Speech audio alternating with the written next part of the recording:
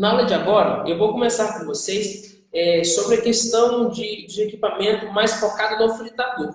Por que, que eu vou falar mais do fritador nessa aula? Porque o fritador, ele é literalmente o coração da sua empresa. É ele quem bombeia todo o sangue para o corpo da sua empresa, é ele quem produz de fato os seus produtos, que são que é o, que gera sua monetização, e uma empresa que não gera monetização, ou seja, que não vende, é uma empresa que está já com a garantia, com a vida útil dela no mercado, é, já com a validade estipulada. E não é o que a gente precisa hoje. Nós precisamos montar um negócio no qual ele tenha capacidade de crescimento. Tá? Então, quando eu falo do coração, ele vai ser a parte principal. A outra parte que está acima do coração, que é o cérebro, é você que é o cérebro do seu empreendimento. Tá? Então, cada um tem a sua função aqui dentro, dentro do seu negócio. E a função do seu fritador hoje é te dar liberdade para que você desenvolva um negócio com mais capacidade de produção, para que você aumente sua monetização, para que você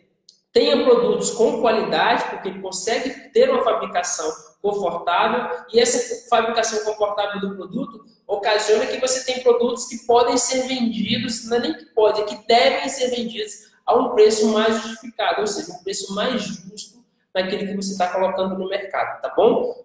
Então, primeira fase desse momento é entender. É, o, o fritador é o coração da sua empresa. Agora eu vou te falar do cortador. Como são duas peças principais e importantes, o cortador, gente, entendam uma, de uma forma extremamente simples.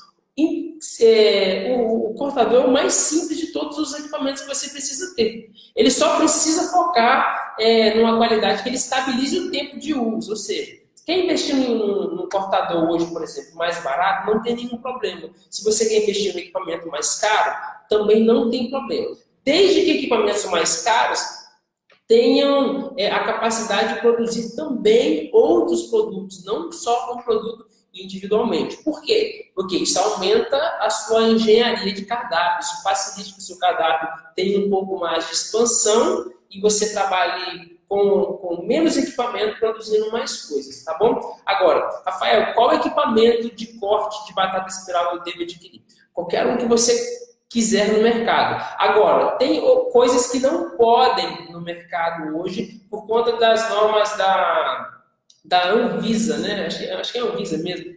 E a ABNT. O é, que, que acontece? O cortador ele não pode ser pintado, tá? Ele pode ser de pintura esmaltada com esmalte laminado. Aí ele pode ser pintado. Mas normalmente ninguém vai gastar é, pintura de esmalte com cortador. Não existe isso no mercado. Então o que você não pode ter no cortador é simplesmente um equipamento que tenha pintura, nenhum tipo de pintura de preferência. Então, aconselho que você busque um equipamento que tenha um formato, características de, de textura inox, isso vai te facilitar ficar no mercado. Rafael, posso trabalhar com plástico? Pode trabalhar com plástico não tem nenhum problema, tá bom? Então, isso está muito fácil. Questão de custo, é você quem vai decidir qual é o custo mais agradável para você, desde que esse equipamento te dê estrutura para você aguentar a demanda de produção que você tem com o seu negócio, tá bom? Então, é, eu digo que o, que o cortador ele é normalmente o pulmão dessa, empresa. Entendeu? Ele é um pulmãozinho ali que vai fazer o seu trabalho de forma simples, mas ele precisa e tem total dependência do seu fritador, que é o que nós vamos falar agora, tá? Então, olha só, o fritador, você vai encontrar algumas variedades de formatos desse tipo de, de, de, fritador no mercado. A primeira delas é o fritador de formato quadrado, o segundo redondo, e o terceiro é o formato é, de, de, de, de cilindro, tá? É o formato de cilindro. Qual desses que é o melhor? Todos vão funcionar para o seu empreendimento. Agora, as características técnicas de, de cada equipamento vai interferir no seu produto, vai interferir no resultado final do produto que você quer produzir, tá? Então, assim, o que você tem que pensar na hora de fazer a aquisição de um fritador são três coisas. Primeiro, o formato que ele tem, se é um formato que tem facilidade de você utilizá-lo em outros conceitos estruturais, é, sem, sem perder, sem ter que estar trocando esse equipamento com muita frequência, ou que esse equipamento tem a capacidade de se estruturar, ou seja, de aumentar a tecnologia que ele tem ou de trocar a tecnologia. Que tecnologia que eu estou falando? É dele ser um queimador, de ser um fritador a gás e elétrico, por exemplo, tudo no mesmo equipamento. Ou se eu tenho um fritador elétrico, pode ser transformado a gás, se for a gás, transformar em elétrico. Esse é o melhor pensamento que você deve ter, pensando de acordo com o conceito, quer dizer, com o formato desse equipamento, tá bom? Segunda coisa é se esse fritador ele tem um, quando a gás, ele tem um queimador de alta pressão, de alta pressão. Simples desse jeito. O queimador, existem N, N, N formatos de queimadores de alta pressão no mercado. Só que assim, eu quero que vocês me lembrem, não dá para passar por aqui agora essa imagem, mas eu vou encaminhar para vocês uma imagem na qual eu mostro qual é o queimador ideal que deve ter, é obrigatório você ter no seu fritador para que você estabilize a temperatura, tá? Que já é o terceiro ponto. Ou seja, formato, um queimador de alta pressão e por último, ele precisa estabilizar a temperatura, tá? Deixa eu ver se eu estou esquecendo alguma outra coisa aqui desse fritador. Tá, é, então é só, que ele estabilize a temperatura. Então, estabilidade de temperatura, formato, que ele tem e queimador de alta pressão, está tudo resolvido. É esse o tipo de equipamento que vai te facilitar é, entrar no mercado e ter produtos com mais qualidade. Por quê? O queimador de alta pressão, ele vai facilitar para que você aumente a temperatura ou abaixe a temperatura do seu fritador de forma mais rápida. Isso faz com que você consiga naturalmente, de forma rápida, economizar no, no seu Opa, peraí, galera. A Michelle está pedindo autorização para entrar aqui. Deixa eu só liberar aqui. Opa. Tá. Beleza, liberado. Então o pessoal vai chegando aqui. Deixa eu só parar aqui para todo mundo conseguir participar. Importante demais. Gente, vocês vão, vocês vão anotando as perguntas. Eu sei que vão surgir algumas dúvidas. E no meio dessas dúvidas eu vou parar daqui a pouco, nós vamos poder é, responder a pergunta de todos vocês. Ninguém vai ficar. A gente vai sair daqui com as perguntas de todo mundo respondidas, tá bom? Então, beleza. Então vamos lá, vamos voltar aqui. Então o que acontece? É, eu estava falando do queimador de alta pressão. Então, quando você tem um queimador. Opa, travou minha live. O que aconteceu? Pessoal, vocês estão me ouvindo? Deixa eu ver aqui.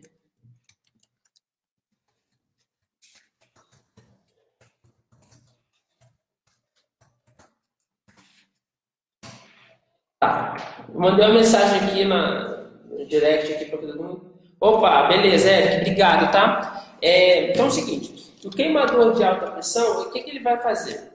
Ele vai fazer com que aumente a temperatura do seu do, do, da sua gordura de forma mais rápida. Isso, mesmo que ele queime mais combustível, ele retarda, ele, o, o, quer dizer, ele acelera o processo de, de, de, de fritura. Ou seja, se, se, você fosse passar 15 minutos fritando um, uma quantidade espiral, fazendo uma fritada de batatas, você vai fazer isso em 10 minutos. Isso já economiza 5 minutos. Só que aí às vezes as pessoas pensam, poxa, mas eu vou economizar 5 minutos. Cara, 5 minutos não é nada no gás. Não é 5 minutos, não é nada no gás em uma fritada. Quantas fritadas você consegue fazer por dia ou por hora com um equipamento de tecnologia correta?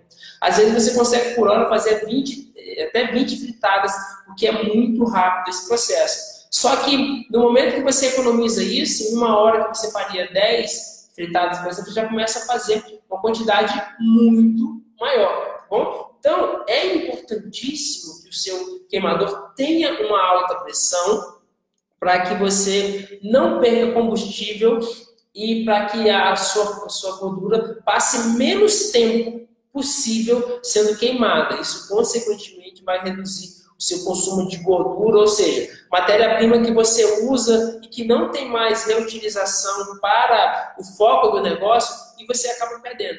Então, na, no pensamento de, de, montagem de uma batataria, a primeira coisa que a gente precisa pensar na hora de adquirir equipamentos é como eliminar processos desnecessários. eliminar processos que vão ter um consumo maior de matéria-prima, tá? Então, essa é a primeira fase que a gente pensa na questão do queimador. Então, o queimador ali, ele tem todas essas características, ele tem todas essas funções também para facilitar o seu negócio, tá bom? A terceira e última coisa é a questão da temperatura que o seu, que o seu é, fritador precisa ter. Ele precisa ter uma temperatura estabilizada. Se o formato do seu, do seu fritador ele for quadra, é, redondo, ele vai retardar mais a estabilização de temperatura. Ou seja, ele demora mais para fazer a estabilização, porque o queimador, quando ele libera as chamas do chuveirinho dele, elas saem em formato giratório no sentido anti-horário. Isso faz com que aquele, aqueles escapamentos, aqueles buraquinhos que tem na lateral, saiam de forma muito rápida. Ou seja, então tem muita queima de combustível bom? Quando ele é redondo também, por, ele sair e ficar girando a temperatura de calor ali embaixo, ele tem que ser aberto por baixo, que automaticamente faz com que, que, que você perca mais combustível, ou seja, que você perca mais gás, tá? Daqui a pouco nós vamos tratar da questão do equipamento elétrico também, tá bom? Então, assim, você precisa focar por questão de custos também, de tecnologia, de facilidade que você está usando. Nós vamos falar das duas coisas aí. Então, se você tem um, um, fritador redondo, ele vai ter essas características aí que precisa. Você não pode tampar embaixo e também não pode tampar das laterais. Por quê? Se ele chegar a uma temperatura mais alta do que o normal e ele tiver um, qualquer liberação de gás acima do que ele está é, capaz de liberar, acidentalmente ou intencionalmente, porque abriu demais ali o registro, ele automaticamente pode explodir isso aí, virar uma bagunça danada, tá bom? Porque assim, quando a gente vai trabalhar com, com batata é, e adquire equipamentos, por exemplo, equipamentos é, fritador, é, formato pasteleiro, o de pasteleiro, que é aquela fritadeira pasteleiro, ela é para fritar pastel, tanto que ela não atinge temperatura muito alta, porque o pastel não precisa. O pastel é, a partir de 60, de 80 graus, ele já está fritando é, tudo, normal. Ali, o pastel não precisa dessa temperatura. Até uma gordura de 50 graus, 50 não, de 50, 60 graus. 50, 60 graus, ela já começa a fritar o pastel, então não precisa. Por isso que você tem que ter um equipamento que estabilize a temperatura. A batata ela precisa ficar frita por fora e, e, ter a maciez por dentro em alguns casos. No caso da espiral, tem que ficar totalmente sequinha e crocante. E sem a estabilização da temperatura, quando você tira a espiral de dentro da, da gordura, ele vai ficar totalmente encharcado. Então, no momento que você vai retirar o seu espiral da imersão, ele precisa sair sequinho por, conta da temperatura. Se a temperatura estiver muito abaixo, a sua batata vai, em vez de fritar, ela vai cozinhar ali dentro. Então, é, uma estabilização de temperatura resolve todo esse problema. E qual que é o formato que mais facilita a estabilização de temperatura? É o formato quadrado, tá bom? Como o chuveirinho, que é o queimador, libera em sentido circular a, sua combustão e a libera, liberação de temperatura, ele vai girar e batendo nas paredes que são quadradas, ele vai bater e vai estabilizar, ou seja, quando ele bate e para, aquela temperatura fica no ponto que ele bateu e segura ali até virar tipo uma bolsa de ar ali estabilizando no mesmo lugar. Então, se tiver vazamento de temperatura, não há problema nenhum. É essa a maior diferença que você pode observar que todos os fritadores normalmente, os dois fritadores quadrados normalmente são fechados por baixo e não tem problema nenhum. E já os redondos, eles não podem ser fechados por baixo por conta da circulação de ar. Então, isso tem características de, de, de segurança para você e também facilita que você tenha um trabalho é, mais econômico aí, você reduza muito o seu custo de, de produção, de perda de matéria-prima muito grande. E quando a temperatura não estabiliza, olha o que, que vai acontecer sem a temperatura estabilizar, você vai gastar mais combustível, tanto eletricidade quanto, quanto gás, para manter aquela temperatura sempre estável. Segundo, O gás você gastou mais automaticamente, você vai ter um produto que não vai sair no ponto certo. Você tem que estar o tempo todo em cima dele, vendo tudo que está acontecendo para que você não perca o produto que está lá dentro. Ou seja, sua batata sair no ponto certo, na hora certinha. Então você tem que tomar um cuidado. Isso é responsabilidade do formato que também interfere e o queimador. E, ter, e terceira coisa é que a gordura, se ela passar muito tempo sendo queimada, quanto mais tempo ela passa ali, mais rápido ela vai é, deixar de ser utilizada. Então você vai perder matéria-prima, perder produto, é, perder combustível e ainda a parte mais importante, você vai perder tempo, né? Que é a parte mais complicada é quando você começa a perder tempo. Tempo não tem nada que, pra, na minha, pelo menos aqui na minha vida, nos meus negócios, não tem nada que, que vale mais dinheiro do que o nosso tempo aqui, tá bom? Então, é importante que você entenda essas características para facilitar. Tá bom? Essas são as informações dirigidas a um fritador é, a gás, tá? Agora nós vamos falar de um fritador quadrado, que é opa, um fritador elétrico, tá? Então, o fritador elétrico, ele tem as mesmas características, mas só focalizada no formato, tá? Agora, o que, que vai acontecer quando você trabalha com um fritador elétrico? É, o, o que você vai ter que pensar é na capacidade que ele tem de, de montagem do, do, do... Caiu, gente. O que, foi? Só dá um... Peraí. E aí, galera, tá me ouvindo aí direitinho? Me, me avisa aqui, é importante. Cadê? Ah, tá.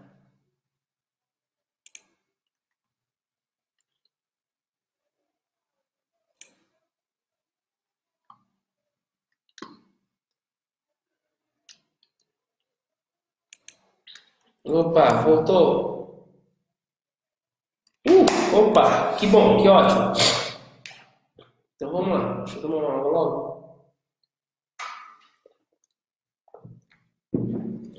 Pessoal, então olha só, a questão do fritador elétrico, ele é mais fácil de você ter utilização com ele. Só ele só tem algumas limitações da, da condição de, de depender de eletricidade, né? E dependendo do, do tipo de fritador que você tem, não é qualquer lugar que você consegue ter uma temperatura exata, tá bom? Então assim, na hora de verificar qual fritador, se for comprar na internet, por exemplo, tenham é, uma consciência de comprar sempre, em todas, toda e qualquer hipótese, um fritador que tenha a voltagem, que ele seja bivolt, ou seja, 110 e 220, tá? Sempre desse formato. Por quê? Se você migrar de um lugar para outro, está muito mais fácil. E também tem redes que, por não, que não suportam a a, o pedido de energia que o fritador tem. Então, se ele tiver uma capacidade de 110, ele vai trazer uma, uma, uma força menor, tá bom? Ou ele pode estabilizar. Se a temperatura estiver quer dizer, se a rede for mais forte do que o normal, ele vai estabilizar, porque ele suporta até 220, não tem nenhum problema quanto a isso se você não queima. Então, quando você for adquirir um equipamento quando elétrico, ele é importante que ele seja bivolt. Por que ele tem que ser bivolt?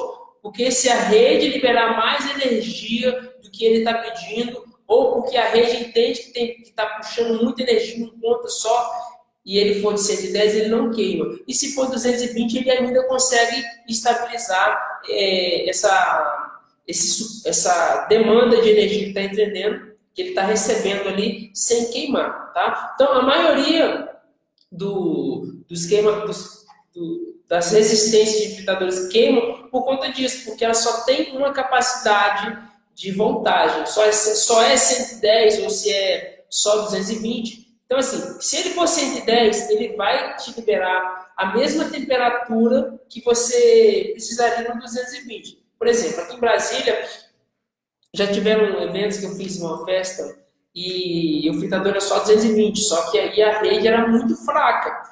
E o que aconteceu? Não fritava, não tinha o que fazer, não. Eu tive que abandonar o evento. Foi um pouco chato até devolver dinheiro para essa cliente.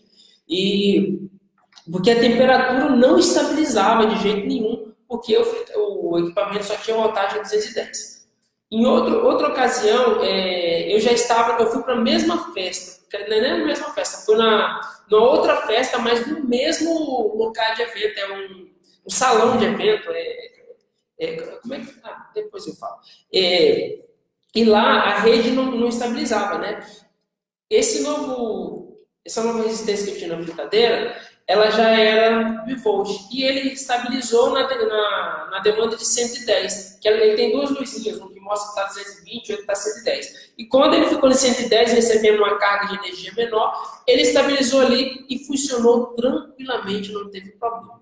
Então, um equipamento que tem essa facilidade vai resolver muito, vai acelerar muito seu processo para que você não fique na mão, tá? Como a, a, a temperatura dessa, desse fritador ela aquece internamente por conta da resistência, o formato não vai te atrapalhar em nada. A questão de ter de ser um equipamento elétrico não vai te atrapalhar. Se você escolher cilindro, redondo ou quadrado, não vai interferir, tá bom? Não interfere e nada. Então basta você trabalhar. Agora, o que é mais legal? Em qualquer fritador que seja elétrico, é bom que você tenha uma grade, uma grade para ficar em cima desse, desse, dessa resistência. Ou seja, a resistência está aqui embaixo.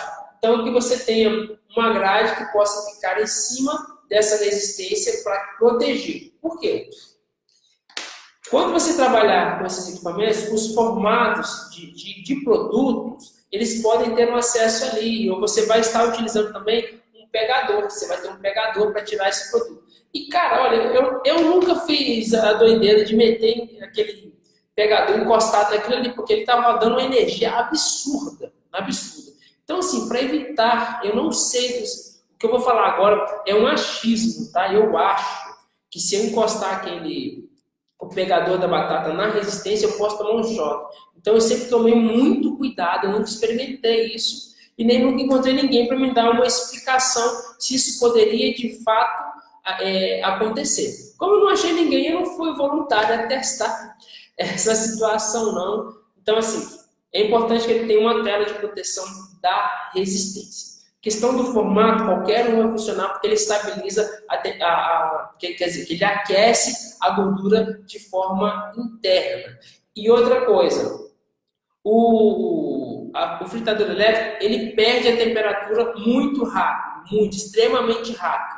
Só que ele também aquece a gordura de forma muito rápida. Mesmo tempo que ele leva para aquecer, é, a metade do tempo que ele leva para poder reduzir. Então, dá para você trabalhar de forma muito tranquila, tá? Facilita muito o processo. Eu hoje, todos os meus equipamentos são equipamentos elétricos, todos são equipamentos elétricos. Quando eu vou trabalhar em eventos, são elétricos, eu não costumo utilizar mais o a gás. Só que todos os equipamentos que eu tenho, eles são equipamentos flex, ou seja, que têm a capacidade de trabalhar tanto com a, o formato elétrico quanto no formato a gás. Então, é uma tecnologia flex. Hoje, a minha empresa fabrica esses equipamentos unicamente nessas duas tecnologias. Independente se hoje você entra na loja do batateiro e adquirir um equipamento é, a gás, ele já vai ter todas as características para que você possa adaptar é, um, um elétrico, tá?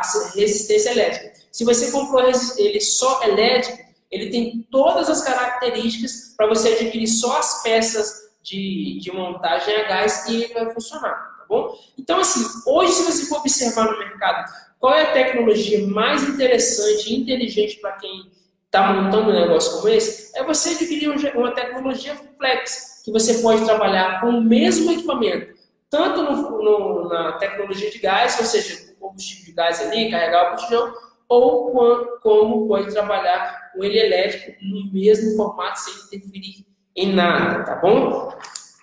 Isso levando em consideração que o formato de cada equipamento vai interferir em algumas coisas quando a gente fala do elétrico, tá? ele não interfere em questão de temperatura, tanto para baixar quanto para diminuir. O fritador elétrico não interfere em nada. A resistência, ela esfria muito rápido ali dentro e baixa a temperatura muito rápido. E o e, e para subir ele sobe mais rápido que o a gás, tá? Então o fritador elétrico tem mais facilidade na sua tecnologia de trabalho, tá bom? Então tomar cuidado com essas questões é, de acidente mesmo e também pensar agora no formato. Por quê? Quando você tem um formato de um fritador elétrico a gás, ele vai também facilitar que você trabalhe com outros produtos. Então, o que, que acontece? Quando você tem um fritador a gás em formato quadrado e você vai trabalhar com outros produtos que não, só, que não sejam só as batatas espirais, é importante que, esse, que esse, essa resistência que fica ali dentro, essa resistência ela tenha, ela possa ser dividida. Então, o que, que eu faço nos fritadores que eu tenho hoje? Ou eu tenho uma resistência de média potência, e eu coloco duas resistências no mesmo fritador, ou eu utilizo uma resistência pequena que aquece toda a cuba de uma única vez. Só que é bom tomar um cuidado com isso, é bom se entender nesse formato pelo seguinte: se você comprar um fritador que ele tem uma única resistência interna, ele vai aquecer de todo aquele formato e você não tem como dividir os seus produtos. Por exemplo, eu vou colocar batata palito também no meu projeto. É, o que, que vai acontecer? Se ele for inteiriço, você tem como trabalhar com os dois produtos na mesma cuba. Então, isso gera uma certa dificuldade, tá? Isso te bloqueia de desenvolver a sua engenharia de cardápio e ter o projeto trabalhando com mais facilidade ali, tá? Então, vale muito se pensar nessa questão, tá? O que, que vai ser feito, como vai ser feito, para que você não perca tempo nessa produtividade aí e não te limite a, a, sua questão de produto por conta do formato do seu equipamento, tá bom? Então, olha só, é, nós vamos dividir isso aqui por fases e eu vou liberar para vocês agora as perguntas que surgiram em cima desse, desse, de, dessas explicações, tá? Então, assim, galera, vocês vão utilizar a questão o seguinte, duas formas de vocês mandarem a pergunta e nós vamos tomar essa decisão aqui juntos. A primeira é mandar aqui para os comentários, você vai digitar nós vamos responder aqui agora, tá? Ou você vai mandar através do WhatsApp. Aqui você vai pegar e, e postar a sua pergunta lá no, dentro do grupo, no áudio, dentro do grupo lá do WhatsApp. E o que, que acontece? Eu vou responder aqui. Só que lá você vai ter que postar essa pergunta por áudio tá? Lá vai ser áudio, aí você passa o máximo de informações possível, a gente consegue entender pelo tom até da sua voz, tenta interpretar de uma forma melhor. Eu, normalmente, todos os alunos, eu já faço esse processo, mas como é a primeira live de vocês, é, eu vou deixar vocês tomarem a decisão. Então tá, eu quero que vocês mandem aqui nos comentários, aqui dentro do Facebook agora, o que, que vocês preferem. Vamos trabalhar aqui nos comentários por escrito ou nós vamos para dentro do WhatsApp também, onde você vai mandar as suas perguntas por áudio, tá bom? Então vamos lá, manda aí, galera. Já para facilitar aqui.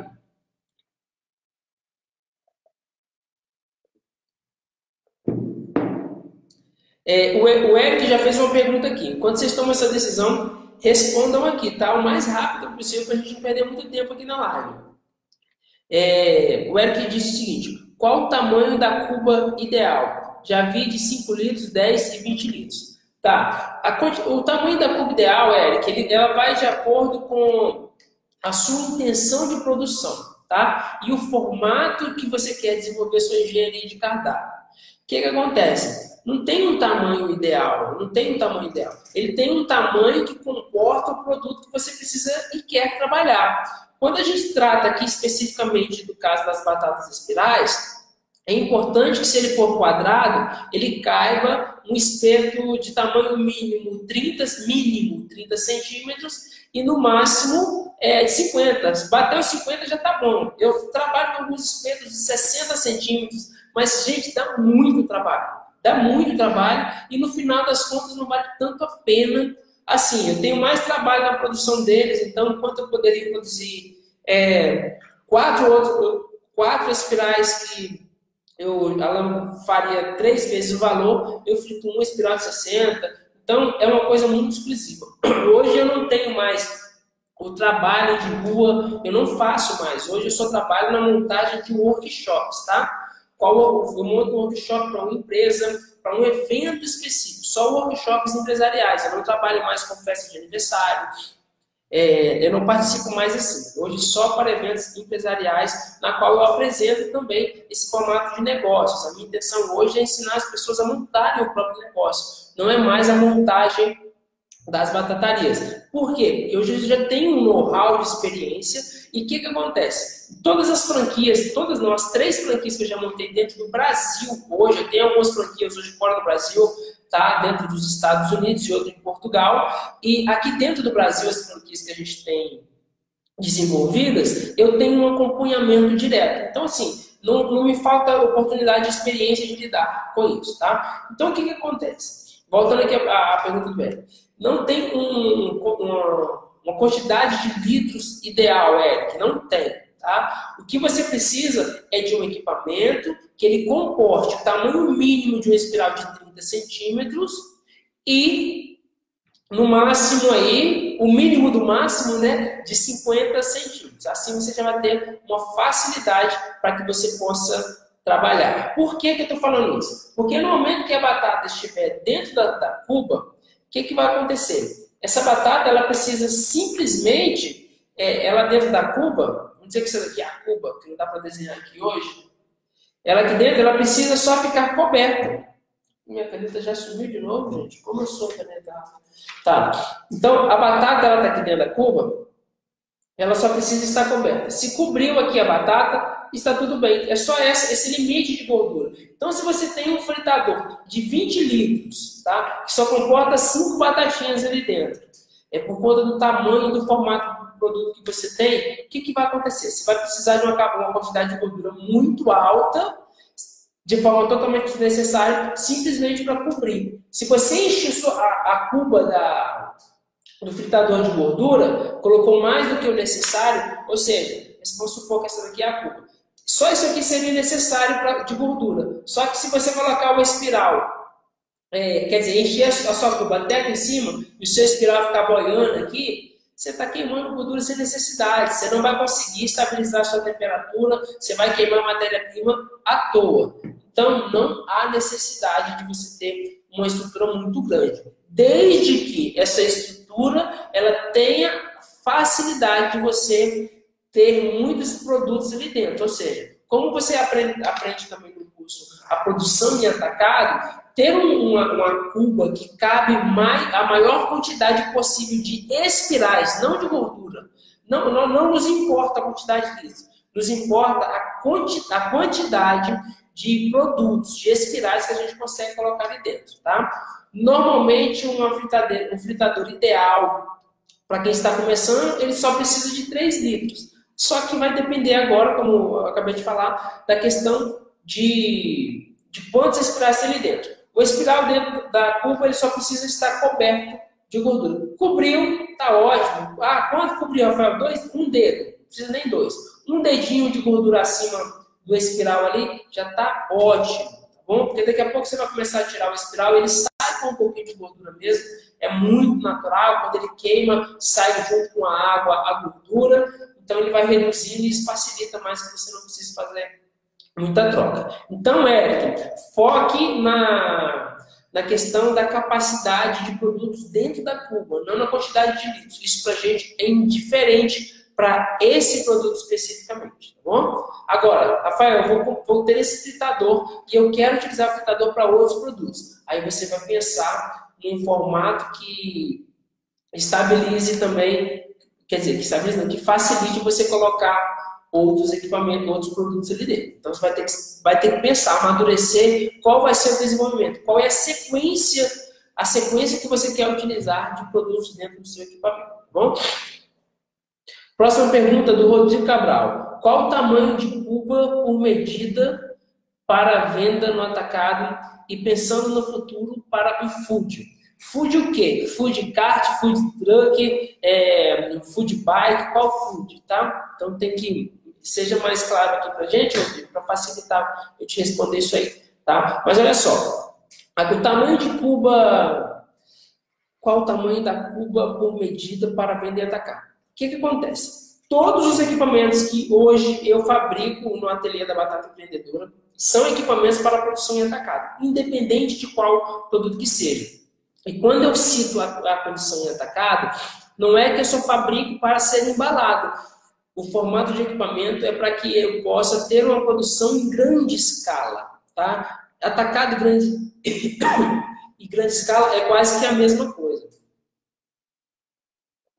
Então, o tamanho mínimo que eu fabrico os meus equipamentos e todos os outros alunos da Batata Empreendedora fazem aquisição são de equipamentos de medidas mínimas, de 30 por 50. Eu não fabrico nenhum equipamento menor que isso.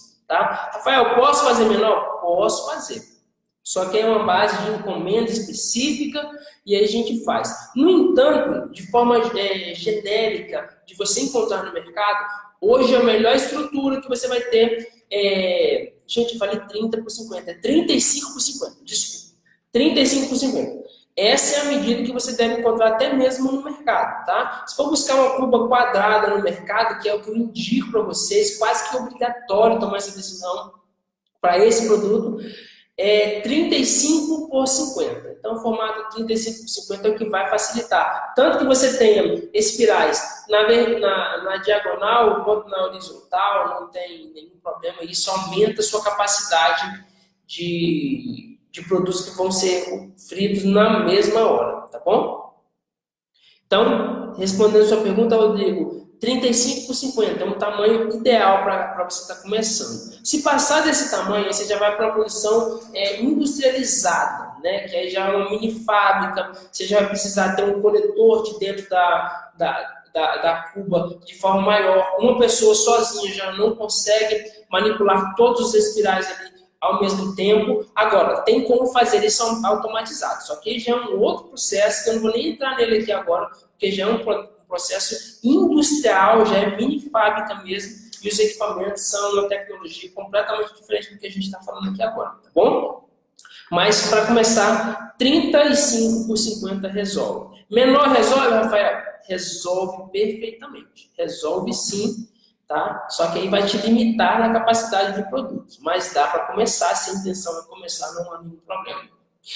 Pergunta da Priscila Saldanha, vamos lá. Tenho a mesma dúvida dos meninos, as, aí as dimensões e quantidade de óleo e gordura. Então, que bom, eu já, eu já respondi essa pergunta, né, Priscila? A quantidade, a quantidade mínima, 3 litros, tá? E que cubra a batata. Cobriu a batatinha ali, tá resolvido, tá bom? Então, assim, é, quando vai fritar, não frita nunca, nunca. É perda de tempo, dinheiro e paciência é, fritar um único espiral de vez. Então, sempre tenha uma, uma, gordura que te facilite a produção em atacado. Tá? A não ser que você vai, não tenha intenção nenhuma de trabalhar com a produção em atacado, aí tudo bem. Mas, fora isso, sempre frite, cliente pediu um, cabe mais 10 na culpa, frite às 11. Acabou, não tem problema nenhum coloca nas suas embalagens ou deixa ele para pronta, pronta entrega quando, quando o cliente chegar e fica tudo resolvido, tá bom? Então, cobriu a batata já tem a quantidade de gordura suficiente e necessária e as, dimensões mínimas que eu aconselho, pode ser menor? Pode, mas são é 35 por 50, tá? Então, vamos lá.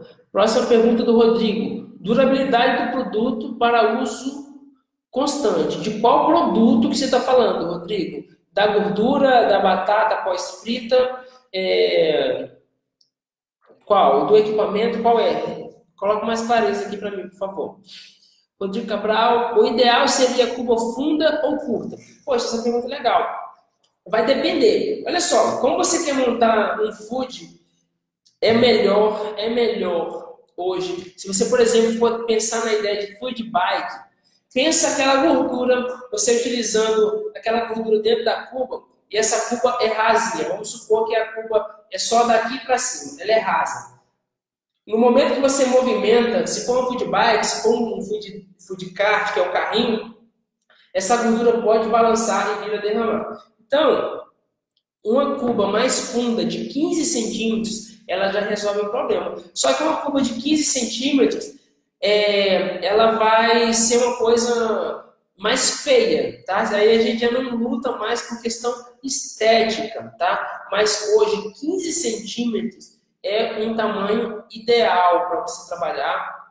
Todos os fritadores que eu fabrico hoje, eles são de cuba de 15 centímetros, por conta de segurança também. A quantidade mínima é de 15 centímetros é, e, e, o personalizado é até 13 centímetros. Eu não faço fora disso aí por conta das normas técnicas de segurança da minha empresa, tá bom? Então, assim, é importante, eu, eu não estou tentando vender nada para vocês aqui, eu estou mostrando para vocês o que eu faço durante todos esses anos, as experiências que eu tive, e eu entendi uma, uma, uma facilidade de trabalho no mercado, tá bom, gente? Então, assim, quando você vai comparar o que eu faço hoje, que é tudo personalizado com o mercado, às vezes você não vai encontrar. Mas se você tiver facilidade de confeccionar esses equipamentos aí na sua região, é inteligente que você siga essas normas, porque vão te dar equipamentos com mais segurança para você trabalhar, tá? Então vamos lá. Rodrigo, falta a sua pergunta aqui, durabilidade do produto para uso constante. Qual que é o produto que você está falando aqui? O ideal seria cuba funda ou curta? É, o ideal mesmo 15 centímetros de profundidade. Eu não sei se essa vai ser a curva funda, se ela vai ser curta, eu não tenho certeza do, dessa resposta aqui. Mas 15 centímetros é o ideal para fritura, tá? Até para facilidade de manuseio dentro. Se você precisar trabalhar com produtos mais profundos depois, ou até no processo de fazer a batata ribbon, que é aquela toda emboladinha uma na outra, fica tudo muito mais fácil também se você tem uma profundidade maior ali na sua curva, tá bom? Então 15 centímetros seria legal. Priscila perguntou, quanto tempo em média um fritador a gás demora para fritar?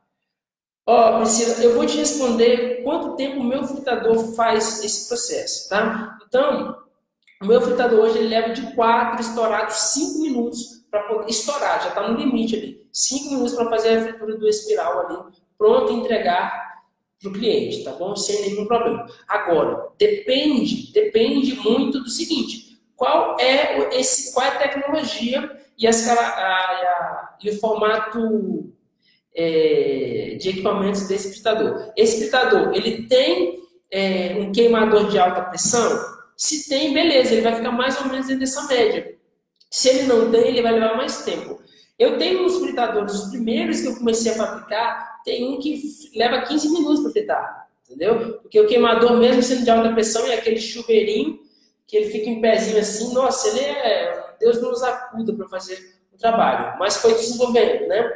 E então assim, depende. Se o queimador ele é de alta alta pressão, vai acelerar o processo. Se o, o formato da sua cuba estabiliza a temperatura, ou seja, vai desligar o fogo, a, temperatura da gordura vai demorar mais a reduzir, por quê? Porque o calor fica ali dentro, quando, quando a gente está falando na gás, tá? É, a, aquela bolsa de ar quente fica ali dentro. Então, mesmo que a gordura esteja esfriando, de forma bem devagar, baixando a temperatura, ela ainda está na temperatura alta. Se você colocar a batata e ligar a gordura novamente, o fogo novamente, ele vai aquecer mais rápido. Então, assim, tem variações de acordo com a tecnologia de cada equipamento. Agora, o que eu faço hoje leva de 4 a 5 minutos estourado por conta da sua capacidade de liberação de combustível e de calor. Tá bom? Então é isso.